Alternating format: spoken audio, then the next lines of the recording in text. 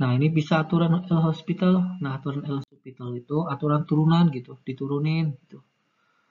Nah, tadi kan contohnya kayak gini kan, limit x mendekati minus 2, x tambah 2, ini 2x tambah 4 gitu.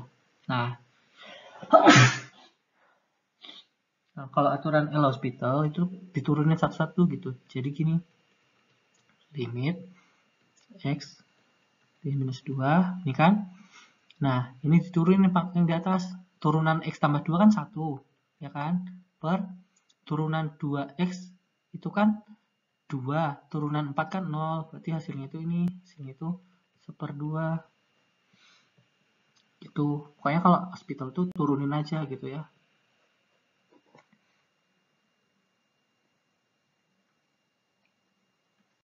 Oke, terima kasih sudah nonton. Jangan lupa subscribe, like, and share. Jika ada pertanyaan, boleh uh, isi di kolom komentar ataupun DM di IG aku ya, di @wahyu underscore tanihaha. Thank you.